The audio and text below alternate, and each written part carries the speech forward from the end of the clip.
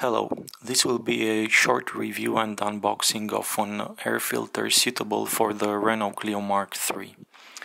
On the web you can find um, air filters made by different manufacturers. This particular one is made in uh, Poland by a company named uh, Hengst. This is how the box looks like on the outside. On all the sides we can uh, also see the uh, code E820L.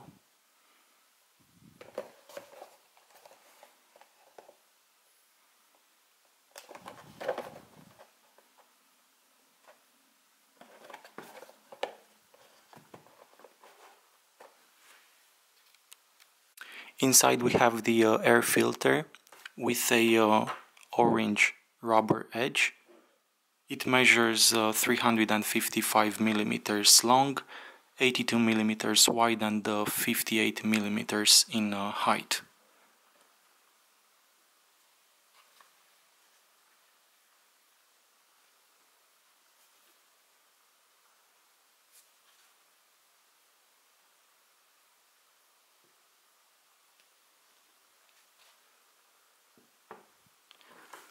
I will install this on my uh, 2011 uh, Renault Clio Mark III, the uh, Estate or uh, Grand Tour version.